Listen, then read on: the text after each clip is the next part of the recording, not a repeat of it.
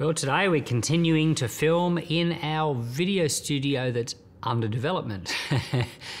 the future room will look a lot different to this one. But we're in Athens today, in Acts chapter 17. Paul goes to the cultural capital of the Roman world, the city of Athens, and you'll notice that his preaching in Athens is different to his preaching in other places because he culturizes his gospel presentation to the people that he speaks to. Anyway, let us read.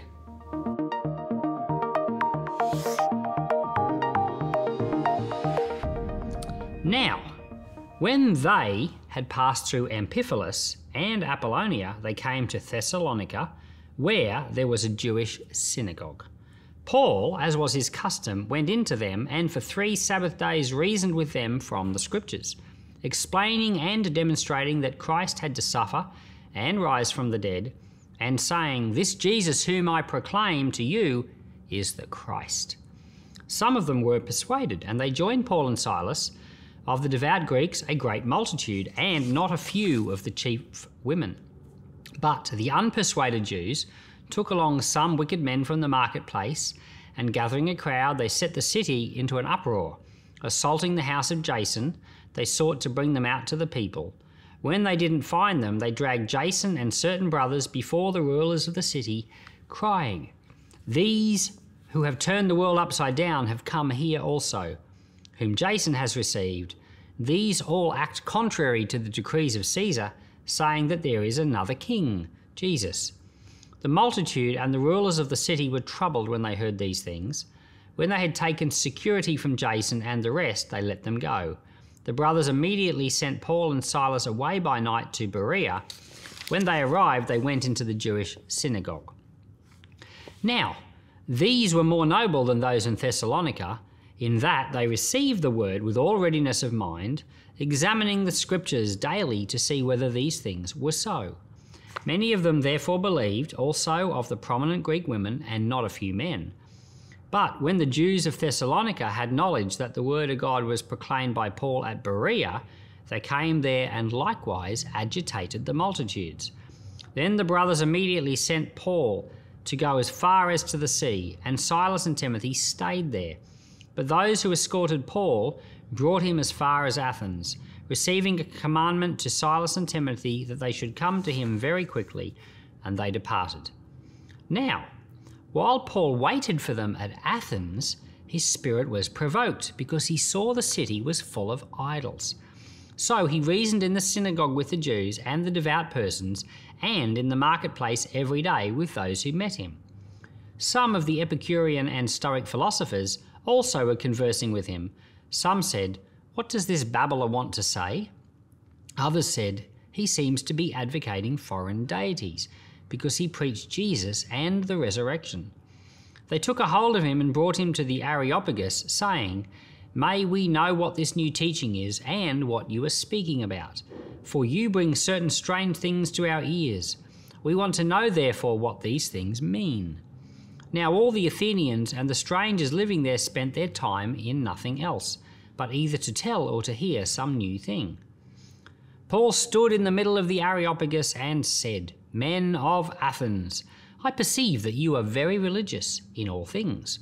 For as I passed along and observed the objects of your worship, I found an altar with this inscription To an unknown God.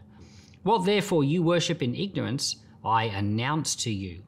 The God who made the world and all things in it he, being Lord of heaven and earth, doesn't dwell in temples made with hands.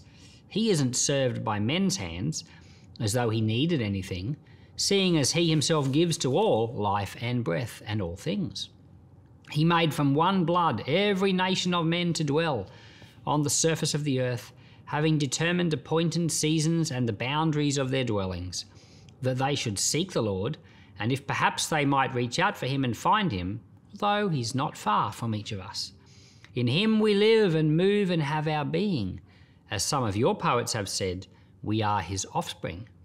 Being then the offspring of God, we ought not to think that the divine nature is like gold or silver or stone engraved by art, the design of men. The times of ignorance, therefore, God overlooked, But now he commands that all people everywhere should repent, because he has appointed a day in which he will judge the world in righteousness by the man he has ordained, of which he has given assurance to all men, because he raised him from the dead. Now, when they heard of this resurrection of the dead, some mocked, but others said, We want to hear you again concerning this. Thus Paul went out from among them, but certain men joined with him and believed, among whom also was Dionysius the Areopagite, and a woman named Damaris, and others. Well, Paul is in the middle of the second missionary journey. In the previous chapter, they are in Philippi. They get um, escorted out of the city. Paul always seems to leave places in interesting circumstances. And in Acts chapter 17, they're in three places Thessalonica, Berea, and then Paul in Athens. In Thessalonica, we notice that the pronoun changes from we back to they. Now, I meant to talk to you about this pronoun thing in the ch- chapter 16, but I forgot, and that was a long video. But the, um, the pronoun, Luke is the writer of the book of Acts, and he never mentions himself by name, but he travels with Paul. And when he's with Paul and he's talking about what happens to Paul, if he's with Paul, the pronoun says, We did this and we did that. Um, so you can tell that Luke's with him. But what happens is, in the start of the second missionary journey, Paul gets to Troas, this is in chapter 16, and it says, We set out for Th- Samothrace, like the, it's the we. Luke is from Troas, he's going with Paul, they go up to Philippi. But then in this chapter, they go to Thessalonica and it's back to they again. Luke stays behind in Philippi, and apparently he's there for years three to four years. And then later on, when Paul is back at Philippi again, he just visits briefly. The we pronouns start back up again. So Luke does travel with Paul a fair bit, but it seems like he stays in Philippi. So why, we don't know. But I wonder whether after seeing the church start there with Lydia and the jailer, that Luke is left behind by Paul, I'm just guessing, to encourage and strengthen the church and make sure it does well. Then in chapter 17, Paul goes to Thessalonica. He's only there a few weeks. It says he reasoned in the synagogue for three Sabbaths, and it says he had great fruit. Jews believe, but a lot of Gentiles, including prominent women.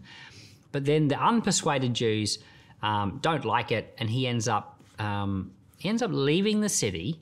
It says that that they were accused um, of causing an out. You know, they were accused of basically stirring up an uproar. And Jason, a local Christian there called Jason, had to post bond. In other words, he's charged, but they won't put him in jail if he puts up security. And the security is, we don't know what it was. It could have been his house or it could have been something with the security. But if Paul had stayed in Thessalonica, it would have risked Jason's security and his possessions. He would never have got it back. So Paul leaves and goes to Berea. And it says the, the people of Berea were of more noble character because they studied the scriptures to see if what Paul was saying was true. These are the Jewish people.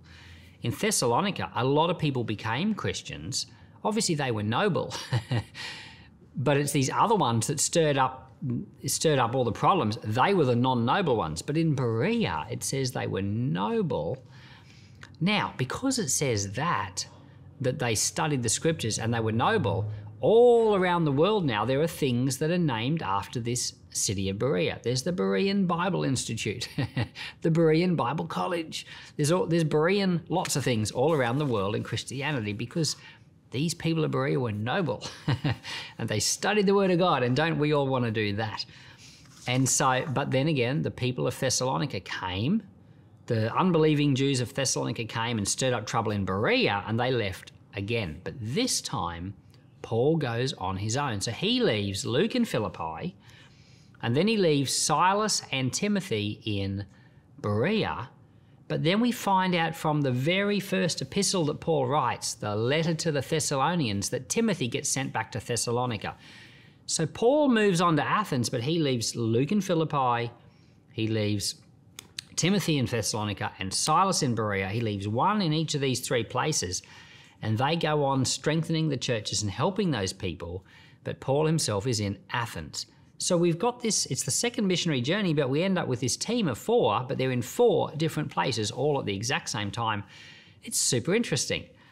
And if you go and read the letter to the Thessalonians, chapter 1, Paul, it, it's like he's only just left Thessalonica, like a few months before, and he's written them this letter. And he said, We were worried about your faith, whether it would stay strong or not. We couldn't bear, he said, I couldn't bear to leave you. I've sent Timothy to you. So that's in this moment where he's left, he's gone to Berea, he's about to go to Athens, and he says, Timothy, I think you got to go back to Thessalonica and find out if they're doing okay. So go and check out Thessalonians, First Thessalonians chapter one, and it'll fit nicely into this part of Acts that we've just read. So Paul is now in Athens, and he's waiting for the others to catch up with him. Luke won't catch up with him, but he's waiting for the other two.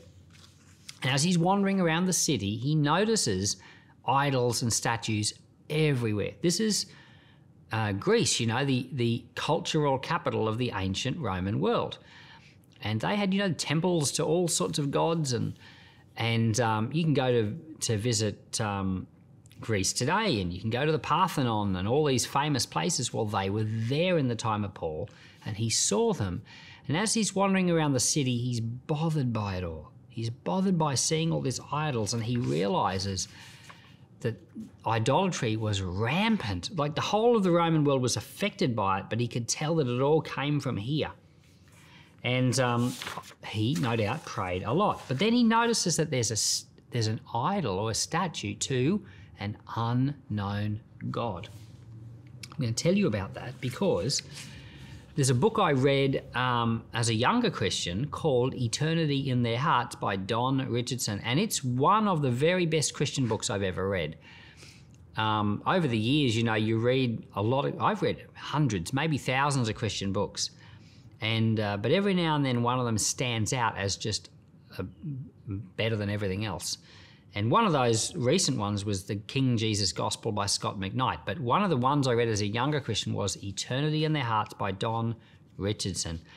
And Don Richardson was saying that God, um, he makes sure that people of all times and cultures and places, they may, even if they never had a missionary, the gospel is presented to these people in a way that there's a, that they could respond in faith.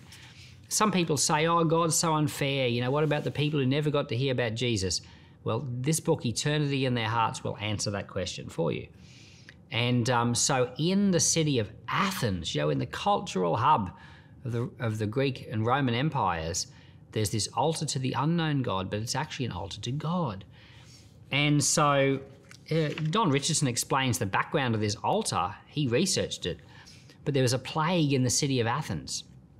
And um, they prayed to all the different gods, and nothing was stopping this plague. But uh, let me let me look up here. I think I've got the name of this.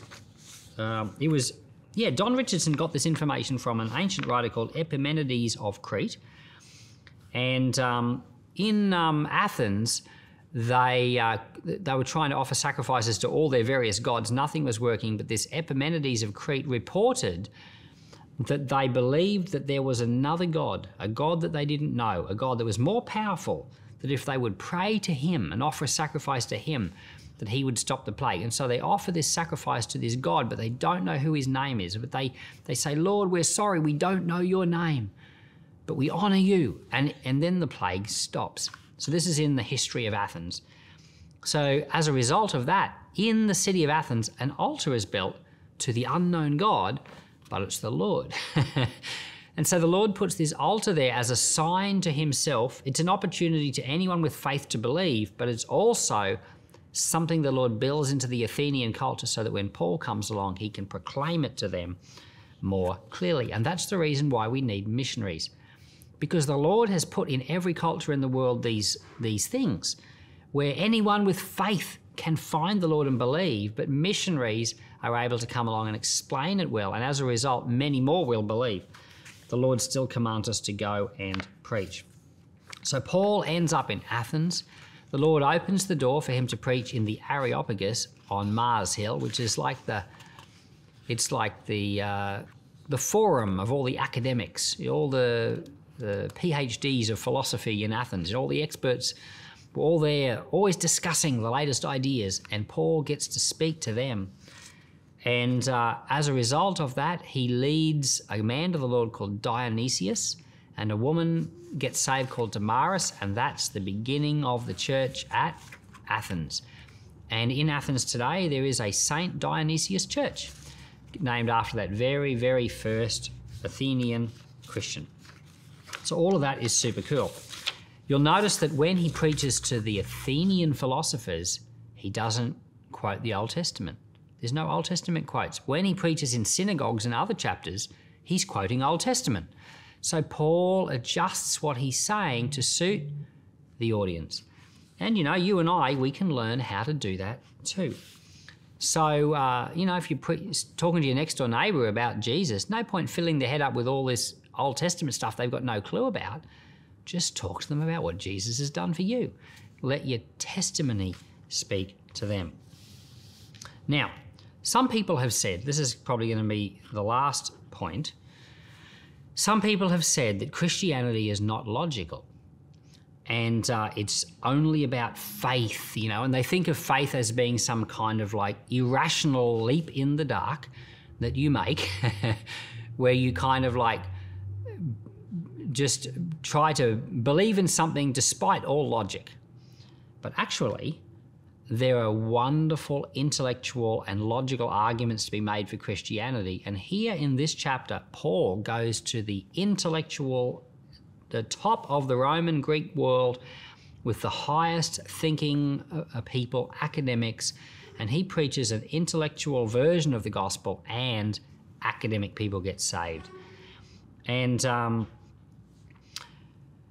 the Christian message is highly intelligent, it's highly academic, and in fact, that's where logic comes from. In the book of Romans, it says, uh, we'll get to Romans chapter 1, but when people dispense with the Lord, they dispense with their reason to think properly. But when you have the Lord, it's from the Lord that proper thought comes. Father, I want to thank you for Paul and his preaching in Athens. I thank you that his words have blessed us and encouraged us down to this very day. And I pray you'd help us all to, to do better and better at sharing the gospel with those around us, people at work or people, our neighbours or family. Help us, Lord, not to, Lord, not to be afraid, but Lord, give us, Lord, the ability to relax and just be ourselves in speaking to them. And Lord, in the same way that Paul was able to impact people even at the highest levels of society, Lord, help us as Christians today to be impacting on those around us. In Jesus' name, amen.